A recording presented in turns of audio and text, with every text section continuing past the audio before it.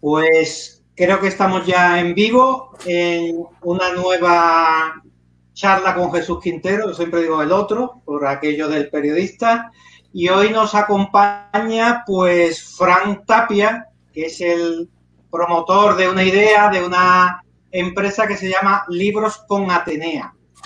Eh, la idea de hoy es este jueves, eh, ya pondré el enlace para el que esté interesado. Vamos a hacer una, un webinar, una masterclass o como se quiera llamar, en el que Frank nos va a contar las estrategias posibles para alguien que tenga un libro y quiera pues editarlo y publicarlo. Muchas veces terminamos un libro y decimos, bueno, ¿y ahora qué hacemos? Pues todo lo que hay detrás de escribir un libro, pues Frank es un experto, su empresa y él pues se dedican a solucionar esos calentamientos de cabeza que tenemos los escritores cuando terminamos un libro y decimos, bueno, esto lo autopublico, eh, me voy a una editorial que pone el libro y todo, ese tipo de cosas, pues Fran nos lo soluciona. Hoy, el jueves, vamos a, dar ese, esa webinar en que hay que inscribirse a través de, una, de un enlace que, que ya pondré. Y hoy queremos conocer un poquito más a, a Fran. Vamos a dar una charla pues para conocerlo, para que cuando vayamos el jueves, él tendrá una introducción más pequeña, pero hoy nos queremos enrollar un poquito más. Exacto. Fran, un saludo, yo siempre digo, defínete en un minuto quién es Fran Tapia. No sé si tendrá muchos perfiles, pero en el perfil que tenemos ahora mismo, que es de editor. Bueno, yo soy Fran Tapia, Francisco J. Tapia. Soy, tengo un nombre poliédrico y soy un hombre poliédrico. Yo soy sociólogo, editor y creador de ideas y bueno, tengo la, compañía de mi diosa, que es Atenea, que por eso hemos fundado Libros con Atenea, con, su nombre. Y básicamente mi trabajo consiste en poner al escritor en la posición de relevancia social que tiene, que es crear cultura.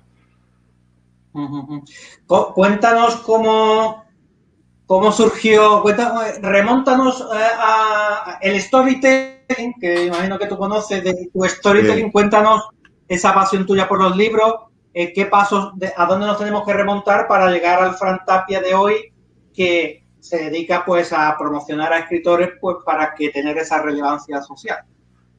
Bueno, pues la pandemia creo que a todos nos ha puesto frente a un espejo y nos ha hecho tomar decisiones nuevas. Entonces yo estaba dando formaciones digitales en una academia que se llama Liberate Formación y hice una formación específica que era la estrategia de contenidos, que eran tres partes, ¿no? Entonces, a mí se me ocurrió para dar al alumnado algo que sea de valor, algo que él pueda aplicar en su día a día, se me ocurrió crear una, una librería, que era Libros con Atenea, para que ellos imitaran el ejemplo de cómo crear una estrategia de contenidos desde cero. Y como las formaciones iban a continuar, dije, pues mira, así ya tengo yo los pasitos que hay que dar, que el alumnado lo pueda imitar y lo pueda aplicar en su día a día. Y de ahí surgió Libros con Atenea tal como, como lo conocemos ahora. Pero yo tenía este dropshipping de hace tiempo, que es un dropshipping, para el que no lo sepa, es una tienda online de productos de terceros. En este caso eran libros, en el que nosotros, yo tenía claro que había que respetar al autor, respetar su royalty y difundir la cultura y hemos añadido servicios editoriales, concursos, una revista online, webinar, como el que vamos a hacer mañana, el jueves, perdón, con Jesús, a las 7 de la tarde. Y, eso, y, ha ido, pues, generándose, ha nacido de una estrategia de contenidos que no se deja de desarrollar y que no deja de, de hacer ese círculo de la estrategia de contenidos. O sea que tú antes de, Libros con Atenea eras formador eh, prácticamente, ¿no? De, cursos, podría decirse. Sí, yo era consultor. Yo empecé mi emprendimiento en 2015, que ya parece que ha pasado mucho tiempo, pero no ha pasado tanto en el fondo. Y coincidimos, coincidimos prácticamente. Ah, sí. Mm pues yo era consultor para empresas en, el área de operaciones digitales, de cómo hacer una base de datos, cómo extraer datos, cómo hacer una estrategia, cómo, qué herramientas tenemos que usar para desarrollar la estrategia y posicionarnos en redes sociales, hacer web. Y bueno, como he dicho, la pandemia nos pone a todos frente al espejo y, y la consultoría es muy cansada, quema mucho, la verdad. y decidí liquidarlo y ya centrarme en, el sector cultural que siempre me ha llevado más adentro, siempre lo he tenido más, más en mi interior que la, que la consultoría privada para empresas. Y cuéntanos tu relación con los libros. ¿Cuándo nació? Desde que era muy pequeñito. Mira, en este cuarto de aquí tenía una librería aquí a la izquierda, en este despachito, y aquí había un montón de libros, biografías de Mozart, de Federico García Lorca, estaba El caballo de Troya, había cómics, Asterix y Obelix, y, claro, pues como buen niño, pues lo que tenía a mano lo, lo ojeaba, ¿no? Y siempre los he disfrutado, los he saboreado, y bueno, en mi adolescencia también, yo recuerdo que una profesora de lengua en bachiller me regaló un libro de Valle, de Inclán, que yo estaba muy obsesionado en aquella época con Valle Inclán, en primero de bachiller, y siempre han formado parte de mi vida y, me han ayudado a imaginar, a tener creatividad, a emocionarme y a descubrirme a mí mismo también. Son una parte fundamental de mi vida.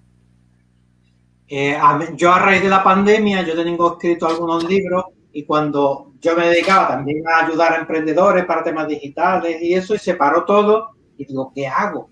Me levanté una mañana y dije, por cierto, esta Silvia, que nos está viendo, que es una de, mis alumnas de, escritura, dije, yo había hecho algún curso así de escritura emocional, había impartido, pero presencial, pero así, digamos, un poquito como hobby, ¿no? Y me puse y dije un jueves, voy a hacer un curso de escritura emocional. Ahora mismo, que ahora mismo que la gente está en esa situación que no sabe muy bien qué, cómo afrontar la vida, ¿no? Y a mí la escritura siempre me ha servido para clarificarme. Total, que saqué una primera promoción, se apuntaron cerca de 30 alumnos, o 40, 40, y ahí después de 5 o 6 promociones, y ya llegó un momento que me dijeron antes, yo es que quiero escribir un libro, y saqué un programa de acompañamiento en el que Silvia, que tiene un libro sobre, sobre tarot en ruta que se llama y está ahí deseando ya publicarlo, le queda ese último empujón, así que Fran, espero que tú seas de, de los que le permita o le dé el conocimiento necesario para, dar ese último paso. Sí, yo espero verla el jueves y que aprenda lo que, porque voy a dar habilidades para los escritores el jueves, ese es el, objetivo que, tengo con, con el webinar. Y aparte de la lectura, eh, ¿tú has escrito algo? ¿Cómo, ¿Cómo, te relacionas con la escritura? Sí, yo he publicado un libro que se llama Reflexiones en la radio y en otros lares, que voy a sacar ahora la segunda edición corregida y mejorada en algunas cosas, que es un libro básicamente de cuando empecé en la radio con un grupo de amigos, que ah, tenemos una revista digital, que era Tiempo Internacional, y yo dirigía el programa ahí en, Radio Carcoma. El programa se puede seguir escuchando en iVox, que es hora internacional. Y bueno, yo inauguraba el programa con monólogos reflexivos, que siempre ha sido mi campo, ¿no? La reflexión social, el análisis, las tendencias. Como sociólogo que soy, me, meto ahí en, en el barro sociológico, me gusta mucho. Y recopilé todas esas, esas, reflexiones y luego también incorporé, un, me tocó oficiar una boda, que fue una de las cosas más bonitas que he hecho en mi vida. También tengo ahí la reflexión que hice para, para, los novios y luego reflexiones en otros lares, que es cuando yo paseo, que lo primero que hago es pasear, escribo y de las diferentes eh, reflexiones que las dejo macerar, como el vino, que, que vayan fluyendo poco a poco, pues las incorporé también en el libro. Y también hago muchas reediciones especiales. He hecho Niebla de Unamuno, he hecho Rimas y Leyendas de Becker, he hecho Cartas desde mi celda de Becker, que ese ha sido el último, he hecho Sonetos de Shakespeare, que me gustan mucho los libros clásicos y, volver a, compartirlos con el mundo, que estén disponibles a buen precio y para difundir la cultura, que es el objetivo que tengo. Y, con la reedición de estos clásicos, eso como cuéntanos un poquito ya por curiosidad cómo funciona, porque sí, mira, os voy a enseñar una que tiene derecho, ¿no? En principio eh, sí, son todas obras de dominio público, de obras que el escritor ha muerto hace 50 años, ¿vale? Yo por ejemplo tengo esta de Niebla eh, aquí, que sí, sí, que esta la hemos hecho nosotros, ¿vale? Y están en formato papel y en digital. Nosotros básicamente, esta por ejemplo, el prólogo está por tres escritores que ganaron el primer concurso que hicimos literario, que pedí una reflexión sobre el libro y están prologadas por ellos. y tienen ilustraciones y luego tienen unas notas técnicas de cómo se ha hecho. Entonces cada mes tratamos de hacer una reedición especial. La primera fue esta porque es mi libro favorito, básicamente. Bueno, pues muy bien. Y ya que, ya que estamos aquí ante un sociólogo, cuéntanos una reflexión sobre la situación actual, ¿cómo la ves? tema de la pandemia, el COVID, ¿qué, lectura le das tú a esta nueva anormalidad, como digo yo? nos, dice que es nueva normalidad, yo digo, será nueva anormalidad. Bueno, si alguna vez ha existido la normalidad, ¿no? Las sociedades humanas somos muy, muy, muy fluidas. Yo creo, uso la metáfora de la caverna de Platón, yo creo que nos ha volcado a, volver a la caverna, ¿no? Que a veces es una cosa que hemos olvidado, de tanto salir a la caverna, nos hemos desorientado y, la pandemia nos ha vuelto a obligar a, volver a nosotros mismos, ¿no? Eh, creo que tiene muy cosas, cosas positivas, nos ha dado lecciones muy importantes, pero también ha mostrado carencias de nuestro sistema, y de cómo está la situación social, ¿no? De, por ejemplo, la situación de, muchos trabajadores que, que, estaban ahí en una situación pre-pandemia muy complicada y que la pandemia les, les ha arrastrado como un maremoto. Eh, tenemos también la estabilidad de los sistemas democráticos de toda Europa, Latinoamérica, en la que se está demostrando de que a lo mejor el sistema no funciona, pero no termina de funcionar muy bien también ha generado mucha frustración, pero también ha generado mm, reflexionar y decir, ¿qué es lo importante? ¿no? La salud es muy importante, la gente se ha dado cuenta de, lo importante que es tener un sistema sanitario y estar fuertes y tener esa empatía con el otro de los contagios. Nos ha enseñado quién personas son importantes en tu vida, porque al no poder, sobre todo una cultura como la española, como la mediterránea, que somos tanto de darnos abrazos, de tocarnos, de, estar en la calle, de, vivir la esencia de las relaciones, pues eso se nos ha cortado de raíz, pero nos hemos dado cuenta de qué personas son importantes, la importancia de la tecnología, porque, bueno, podemos sobrevivir perfectamente sin salir a la calle, ¿no? Y, que nos puedan traer las cosas y relacionarnos, pues, por ejemplo, como estamos haciendo con esta aplicación y también decidir, ¿no? Que llevamos mucho tiempo sin decidir qué, qué, queremos hacer con nuestra vida y este tiempo de, de, estar en casa y decir, oye, esto está bien, esto está mal, a nivel individual, yo creo que muchas personas esas preguntas se las han hecho y van a seguir reforzadas. Otras personas van a seguir a lo mejor peor por, porque el encierro es muy, muy, muy duro, ¿no? Estar encerrado, mismas rutinas, eh, no poder salir, es muy agobiante, ¿no? A lo mejor hay personas que, que con el tiempo van a necesitar terapia o, cuestiones de, de, refresco mental, de ayuda.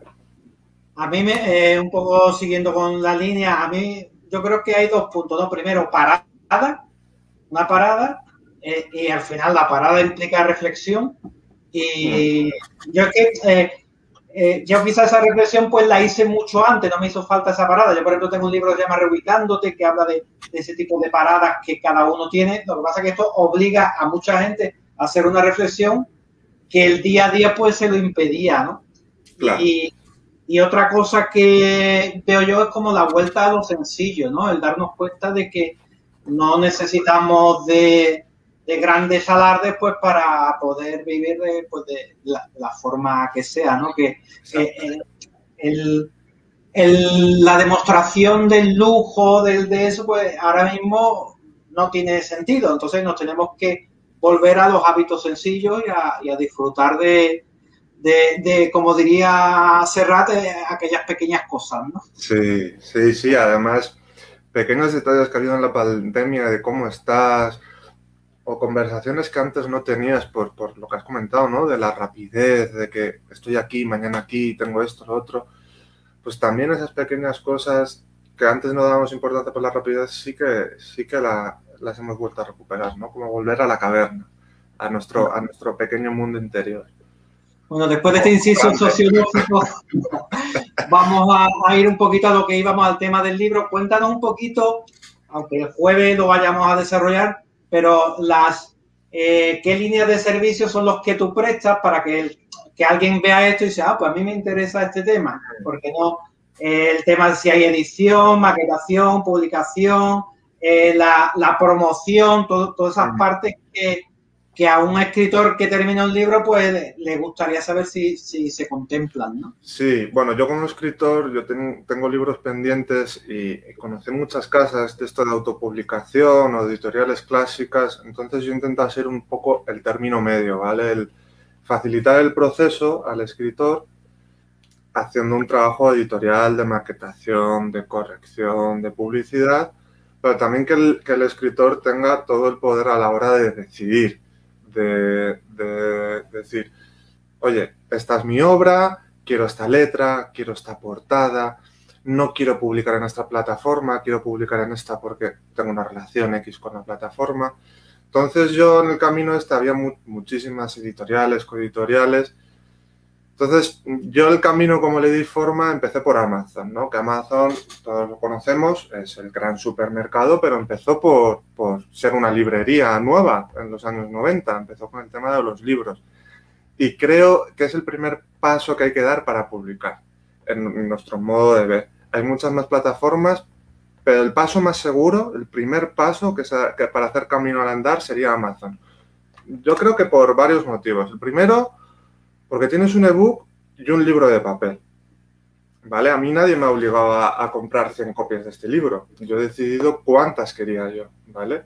Y yo he decidido la letra que quiero en su interior. Y la portada. Y lo que va detrás.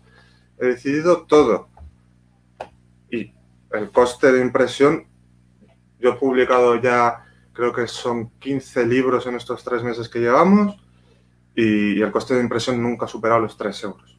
Y he decidido yo las copias que he querido y eso también facilita mucho una cosa muy importante que tenemos que tener los escritores, que cuál es mi objetivo con publicar un libro. Oye, yo quiero vender, quiero hacer una presentación y quiero vender 50 libros. Pues aquí tienes una manera de canalizar ese objetivo, ¿no? Pues tú compras esas copias y canalizas luego en la presentación. Y luego tienes también el ebook, el formato digital, que yo prefiero el papel siempre, me gusta más la esencia del libro, pero también está el ebook. El ebook eh, ha revolucionado todo y el hecho de poder mm, vender ebooks y que esté bien calibrado, que se lea la primera hoja igual en el, en el móvil que en el ordenador, que en la tablet, me parece súper importante por, por, por respetar la esencia del libro que es muy importante, ¿no? Un libro no es de estos cursos que te dan y escribe un libro en siete días y hazte bestseller en Amazon. Un libro tiene que, tiene que tener cualidad, tiene que tener esencia, tiene que también volcar, también tiene que tener su tiempo en barrica, como el, buen vino, ¿no? No precipitarse a la hora de decir, ya soy bestseller. Y el primer paso que hacemos es ese, es Amazon. Y una ya tenemos el ebook, ese sería nuestro servicio básico, ¿vale? Pero vosotros también hacéis eh, lo que es la edición, porque claro, eh, exacto. la parte de ebook tiene su, no es que sea demasiado complicado, pero hay que saber hacerlo, que tiene exacto, sí. para, para que todos sean escalables y ese tipo de... Exacto, nosotros lo que garantizamos es una impresión de papel y de book de alta calidad, tal y como está con la, con la coordinación que hacemos con el autor, ¿no? De que, oye, yo quiero que esta página acabe aquí, una imagen al final del capítulo. Cada uno, cada autor tiene sus detalles en su libro, ¿no? Recuerdo el de Federico de Sánchez, el senador de Alma, que quería poner gráficos de la esencia. Claro, como ocupa el gráfico la hoja, muy importante. Entonces nosotros hacemos todo ese trabajo de maquetación o de edición final, ¿vale? Y ese sería lo más básico que hacemos, ¿vale? Luego ya... También la parte de imágenes complica mucho, porque yo uno de los libros que saqué de book si, si, es escrito nada más, pues es mucho más sencillo. Ahora, como tienes que insertar imágenes, ya en un ebook es una locura. No recuerdo que. Ah, una locura, que me refiero para que no sabe. Claro, claro. A ver, ¿eh, ¿complica un poco el proceso? Bueno, claro, tienes que encuadrar la imagen, centrarla, como si hay párrafo arriba, si va a haber un salto de página y va a estar en dos páginas. Pero bueno, tampoco es, es tampoco es tan complicado. Ah, lo que más complicado a veces son los pequeños detalles de, corrección, que tú lees el libro como escritor 50 eh, veces o 100 veces y no te das cuenta de faltas y de repente en la portada te falta una I o te falta... esos, esos detalles sí que llevan más tiempo porque requieren mucha calma, mucha asertividad, mucha concentración. Y que lo lea otro. Y que lo lea otro, claro. Exacto. Porque los errores de uno... En ese sentido, hacemos la corrección, pero nunca tocamos nada. O sea, respetamos muchísimo las palabras del escritor porque está su esencia ahí puesta. Entonces, nosotros sí que corregimos ese trabajo de... Ortográfico sí se lo dice, ¿no? Claro, hombre, yo le corrijo lo que sean errores ortográficos o, de género o de número, ¿no? Que a veces se pone el sujeto en singular y el verbo en plural y te choca, claro que te lo lees. Y eso es lo que más detalles lleva a cabo. O sea, es el trabajo un poco más minucioso que hay que hacer pero se hace igualmente y se disfruta mucho también de la obra porque también conoces al escritor que, tienes delante y con el que estás trabajando. Porque el escritor está codo, a codo conmigo. O sea, el royalty, eso sí que lo hacemos, que es nuestro valores y que yo, cuando creé la empresa, lo tenía bien claro, el 100% del royalty tiene que ser para el escritor. Yo no puedo tocar el royalty del escritor. Porque me parece muy feo, que lo hacen muchas editoriales, el hecho de que el escritor es como el, mito del huevo y la gallina. ¿Qué fue primero, el huevo o la gallina? Tú como escritor te cogen la gallina, te cogen el huevo y te pagan con tus huevos. Es como, está, me parece una, una no, no, no, no, no siento alineación con eso, ¿vale? No va con mis Yo creo que Amazon se está cargando todas las editoriales porque eh, cuando tú dices una editorial que al final no es que haga mucho más de lo que tú estás haciendo, de lo que haces tú, y encima se lleva el 90% del, del, libro, que yo es que tengo algún libro por editorial también y me llega un 10% que me llega al año o una miseria. Claro. Y claro, y Amazon no te paga el 100%, te paga el 70%. Que yo de Amazon sí que cobro, porque yo lo que hago es, vale, tu libro está en Amazon, ¿yo qué voy a hacer? Yo voy a comisionar, ¿vale? Yo soy afiliado de Amazon, voy a colgar el libro en el dropshipping y voy a estar compartiendo en redes sociales, en mailing, también voy a comprar yo el libro, que yo tengo aquí un estante de libros de, las personas que le he publicado. Lo voy a tener en mi móvil. O sea, yo también me voy a involucrar. ¿Por qué? Porque yo también gano. Si tú ganas como escritor vendiendo libros y yo gano comisionando, los dos ganamos. Es, y Amazon nos lo reparte. Entonces, yo no toco. No tú cobras, la, parte fija del, trabajo hecho y el resto pues se lo cobras a Amazon, no se lo Claro, directamente. Claro que Amazon del 30% restante de, los, del 100%, si son 10 euros para hacerlo sencillo, tú te quedas 7 y los 3 euros los reparte pues entre comisionistas, el trabajo de impresión. Bueno, el trabajo de impresión no, porque el trabajo de impresión está incluido en el precio del libro. Es decir, si tu libro cuesta eh, imprimirlo 2 euros la copia, tú no vas a pagar el coste de esa copia, lo va a pagar el cliente, el lector, el cliente en este caso. En ese caso pagará el libro en Amazon. Claro, o sea, facilita, ah, como escritor facilita muchísimo el proceso, porque no tengo que tener aquí una torre de 100 libros y los tengo que enviar yo por correo, que, que, es una pasada, es una pasada. Y además que no te obliga a, como hacen muchas eh, eh, editoriales de autoedición, no, pues tienes que que hacer mínimo o 50 o 100. Si hace 50 libros, te cuesta 8 euros. Si hace 100, te cuesta 4. Yo porque he vivido todos esos procesos con, con mis libros, ¿no? Entonces, Amazon al final, no que estemos haciendo publicidad porque ni tú ni yo estamos ganando por esto, pero al final es una cosa... Eh, lo Mira, más yo voy a muy claro. Si a mí me llega el día de mañana Google y me ofrece unas condiciones similares o mejores a las de Amazon, también voy a trabajar con ellos. Es que yo creo que es malo tener estereotipos o, prejuicios hacia algo, ¿no? A ver, ¿qué me aporta y qué me quita? Y, en esa regla y en, eso hay que decidir, ¿no? Por ejemplo, Cobo, que yo voy a seguir con, mi libro, por así decirlo, como diría. Eh, ahí no me acuerdo del nombre, de, me acuerdo de la periodista siempre de Mercedes Vila, de, ¿Era Cela? No me acuerdo quién fue. Bueno, anyway. Que ah, umbral, umbral. Umbral, eso es, umbral, que estaba ahí. Oye, que yo he venido aquí a hablar de mi libro. Una frase para la forestería. Claro, yo ya lo tengo en Amazon, pero yo no... Ese es el primer paso y es, y es lo más básico, pero nosotros damos un servicio más, que es, oye, yo te voy a hacer una presentación del libro online, como estamos haciendo ahora aquí por Facebook, pues, por Facebook yo lo hago por YouTube. Te voy a hacer una reseña literaria ¿Qué más? Te voy a decir dónde publicar más tu ebook, porque no renuncia a Google. Google también está muy bien, Google Books. Es una plataforma muy dinámica y una app muy bien desarrollada. iTunes, mucha gente que lee en iTunes y tiene un móvil y, y leen con mucha facilidad. Kobo, que para mí ha sido una de las grandes sorpresas porque Kobo facilita también mucho la autopublicación. Hay que subir un PDF, o sea que tampoco es que haya que transformar mucho el libro o, o darle mucho toque de maquetación, pero te facilita mucho la creación de portadas, te facilita hacer campañas online.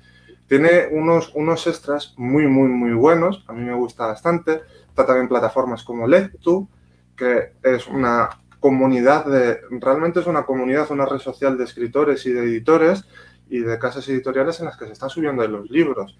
Y hay muchísimas más, pero muchísimas más. Entonces, ese es la segunda, el, segundo, el segundo paquete editorial que tenemos. Luego tenemos uno específico de posicionamiento online, porque el libro y el escritor tienen que estar posicionados. Yo como escritor no sé hacer todo, o sea, es un agobio. Te, te, son muchas cosas las que te vienen encima de hoy promocionar y publicar y hacer una reseña y esto y moverte y lo otro. Entonces, nosotros lo que hacemos es una estrategia para los objetivos que tenga el escritor oye, Fran, yo quiero vender 100 libros. Pues hace una estrategia para vender 100 libros. Y hacemos un análisis. En la formación, ¿te acuerdas que te he dicho al principio de la estrategia de contenidos, ese círculo virtuoso?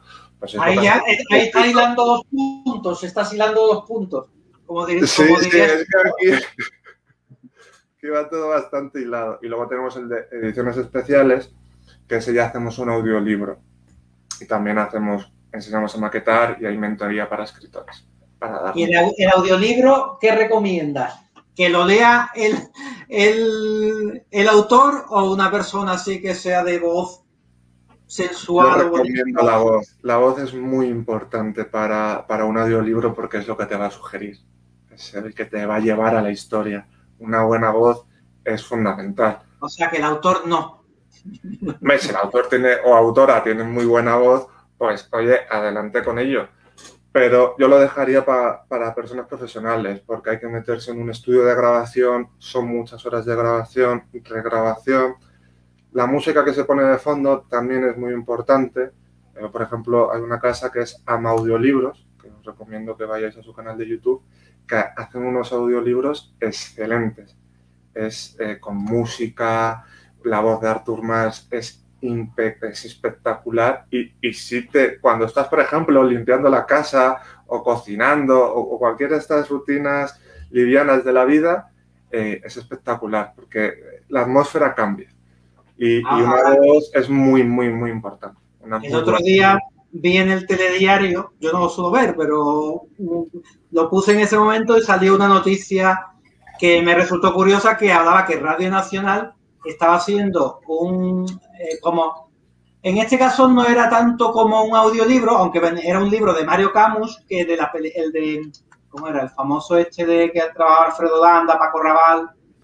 Ese es de, de Deliver. Los Santos Inocentes. Inocentes, sí. Los Santos Inocentes. Pues están haciendo una versión radiofónica de Los Santos Inocentes. Que una versión radiofónica prácticamente, hombre, es, es un poquito más porque tiene más autores pero prácticamente es como si fuese un audiolibro, pero escenificado, ¿no? Bueno, pero eso se, antes se hacía mucho en la radio. Antes en la radio sí, sí se sí. narraban cuentos. ¿Radionovela?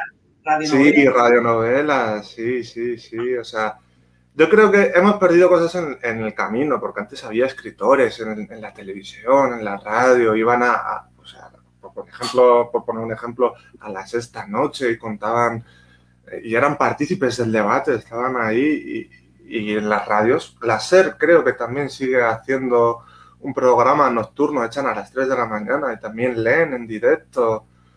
Sí, sí. No es una cosa que hayamos inventado nueva. El audiolibro es un invento nuevo, ¿no?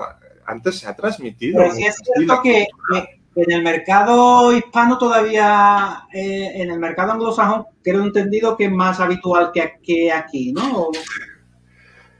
Sí, yo tengo que reconocer que voy a poner el ejemplo de Niebla. O sea, un libro, este libro, que es uno de los mejores para mí de, bueno, España es que tiene una cultura, unos libros, unos literatos, unos escritores escritoras espectaculares, se ha vendido más en Alemania y en Inglaterra que en España.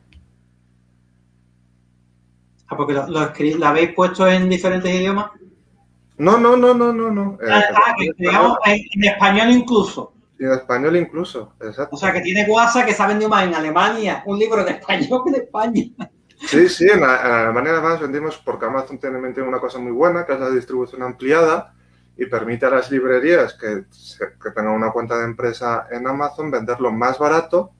Creo que era, le un descuento del 15 o 20%, ahora mismo no lo recuerdo, pero al, autor no le, no le quitaba ni un ápice de su royalty. Entonces, una, una librería comprar cinco libros, estamos hablando de nivel 1 1, claro, es un libro que quieras o no, al final lo vas a vender. Pues comprado en 25, del tirón, de primeras. O sea, que, que eh, están en su cultura, o sea, que, tienen esa curiosidad por, por, los clásicos españoles. Que, en el fondo que eh, en casa de herrero, eh, cuchillo de palo, ¿no? Aquí en España estamos así todavía, con el lazarillo de Tormes, muy interno. Mira, Silvia nos comenta que ella tiene un programa de radio, la que te he comentado que tiene el, libro de... Y la estoy leyendo también, sí. Eh, y ella se dedica a, la radio y dice que tiene, tiene voz. O sea que lo mismo ella puede hacer, en este caso podemos hacer una sesión con ella.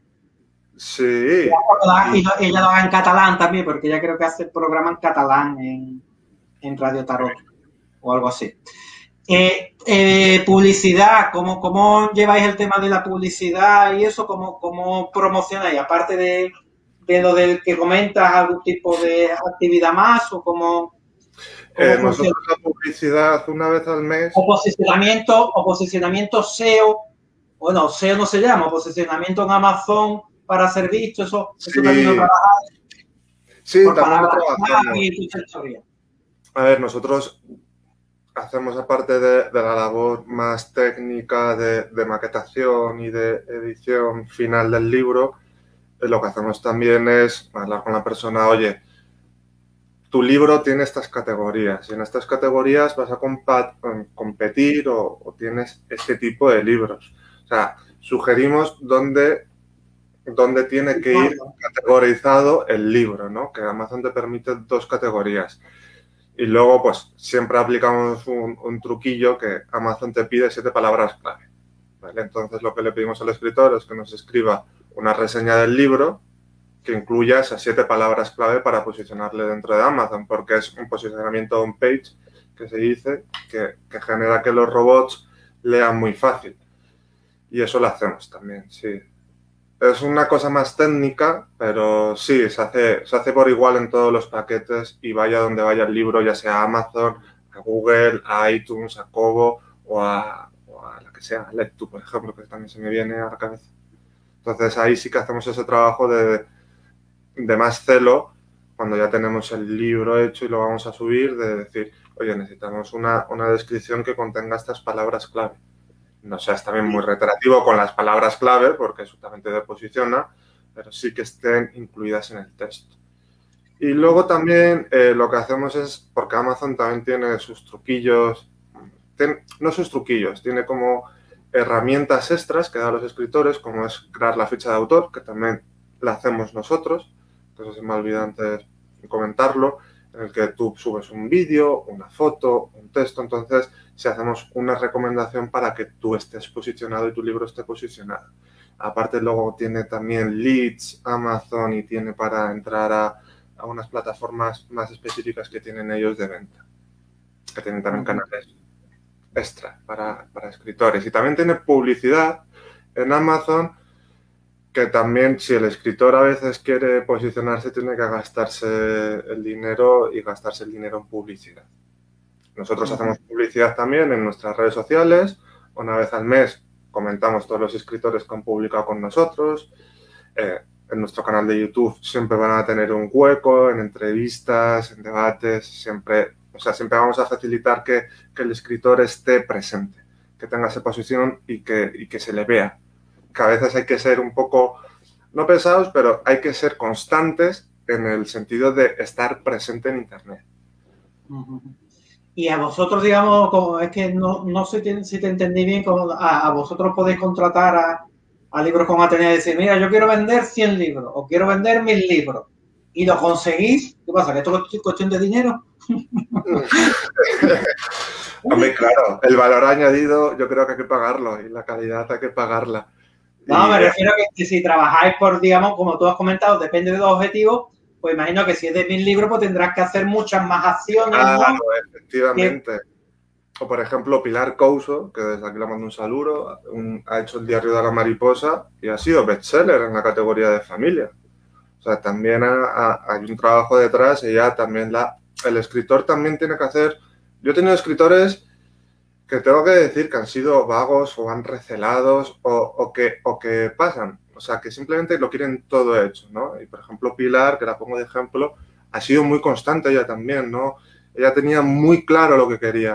Decir, oye, quiero ir por aquí y que el libro esté editado de tal manera y que la portada sea esta. Y me da igual el tiempo que tarde, pero quiero unos detalles muy, muy, muy pulidos. Tengo dudas con las categorías mejor en familia o mejor lo meto en una categoría que se hace mucho esta técnica, yo no la recomiendo personalmente, de meter una categoría en la que se publiquen muy pocos libros, como religión, ¿no? Que rápidamente tú puedes ser bestseller, porque hay pocos libros, entonces tú compites menos. Está la Biblia, está la Biblia y tú.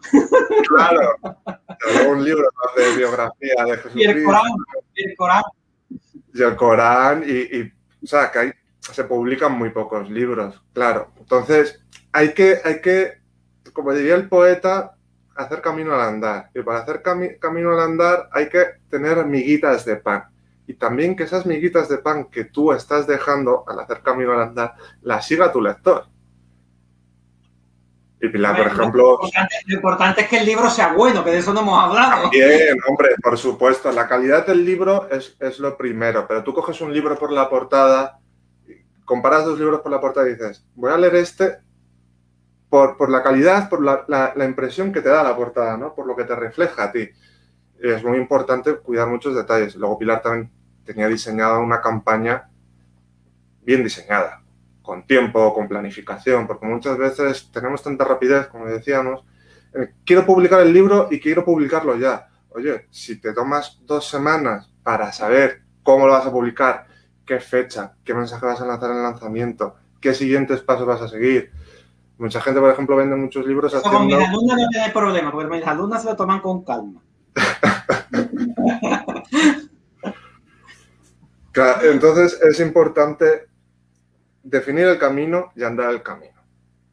Y también estamos hablando también de definir tu marca personal, porque al final lo que estamos haciendo es eh, tener tu marca personal y eso es lo que hace que lo que tú cuentes sea interesante y que la gente pues diga, uh, pues le voy a comprar el libro porque es una persona ya por sí interesante. Imagino si es interesante hablando, será interesante escribiendo.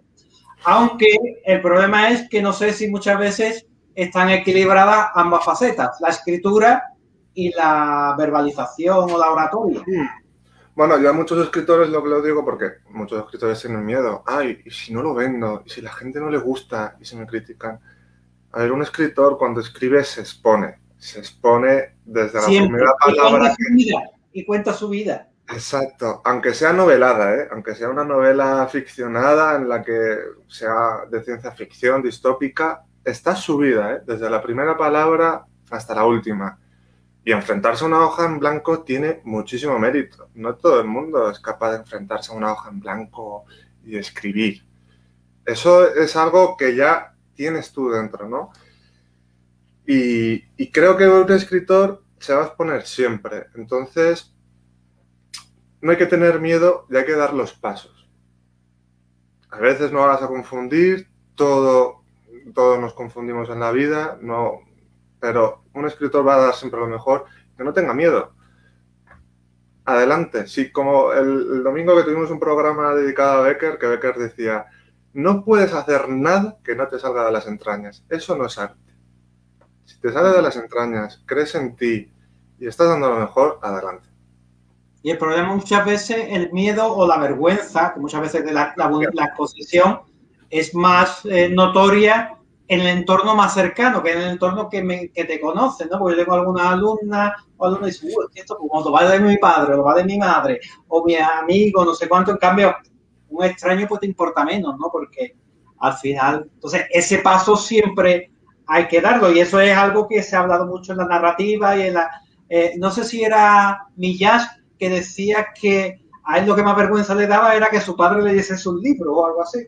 Sí, a mí me da mucha vergüenza que mi padre me haya leído el libro y me lo haya corregido también. O sea, ¿por qué? Porque es, así, o sea, son personas que te conocen, ¿no? Y tú te estás exponiendo de una manera en un libro muy íntima, ¿no? Y sobre todo personas que podamos ser un poco más introvertidas, ¿no? Que tengamos ese mundo interno y lo queramos expresar en el papel de una manera un poco más mágica.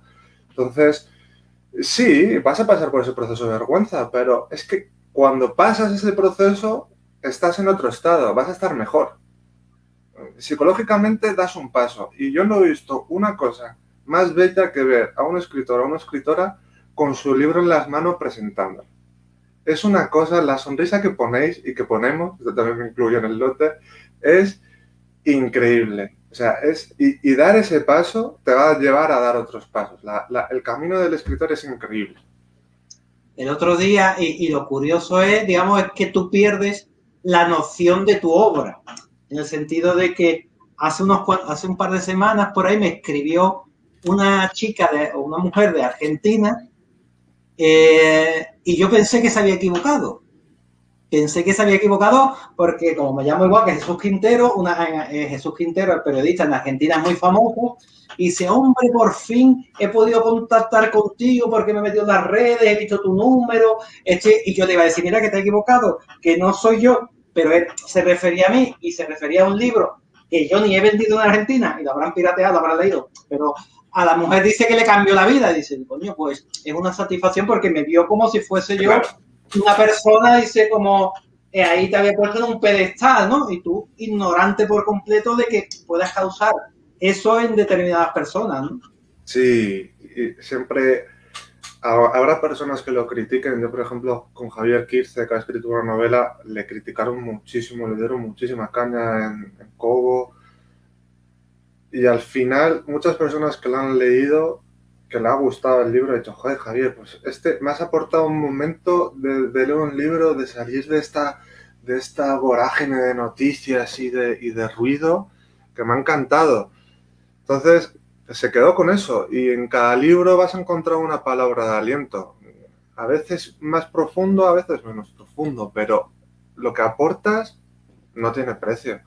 A ti mismo, porque también como escritor aportas cosas a ti mismo, ¿no? Recorres tu camino. para mí siempre digo que aporta claridad. Sí, sí, sí, te conoces más a ti mismo y cómo te expresas y dónde está tu dolor y dónde está tu fuerza. Expresas muchísimo y eso a un lector le va a llevar y dar palabra de ánimo o que el lector sienta y se sumerja y fluya y crezca con tu libro, con tus palabras, es una sensación maravillosa. También nos van a criticar, algunos, seguro que alguna crítica también cae pero no te lo tomes como algo personal. Siempre se dice que si tú no tienes haters es que todavía no eres suficientemente bueno o visible. Claro, sí, sí, pero yo ahí siempre recomiendo que no te lo tomes como algo personal, porque cuando alguien critica ferozmente no está hablando de ti, está hablando de sí mismo. A veces llega un punto en que se ha perdido esa, ese reflejo, ¿no? Ya está hablando de, otras cosas. Bueno, pues, eh, Frank, lo vamos a dejar aquí.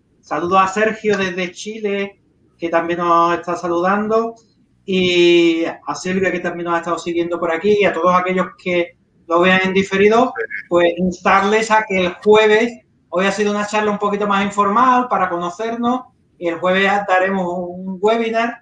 Eh, yo haré un poquito de más. dejando la entrada ahí en el chat. vale. Uy, se la ha dejado mal. No, ya está, está bien, está bien. Y yo la pondré de todas formas ahora en la, publicación del Facebook, la compartiré en diferentes grupos que tenga. Y el jueves, pues trataremos ya de forma más eh, directa, pues toda, todo eso que hemos comentado aquí de forma así un poquito por encima. Sí, eh, yo la, idea... Darás contenido de valor, imagino, explicarás cosas y sí, yo voy a explicar la servicio para el que lo quiera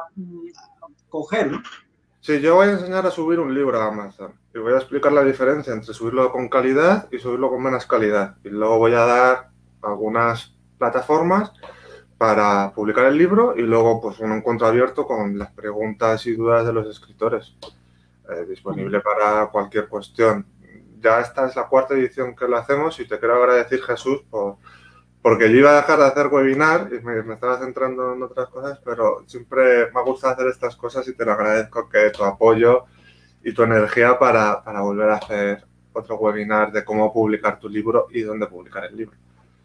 Pues para toda aquella persona que esté con el libro concluido o casi concluido, porque concluido no está nunca hasta que lo publica, porque mientras que ahí está toqueteando, es casi concluido, pues os invito al jueves a las 7 de la tarde a través de, será una plataforma de Google Meet o como, por Sí, lo vamos a hacer por Google Meet.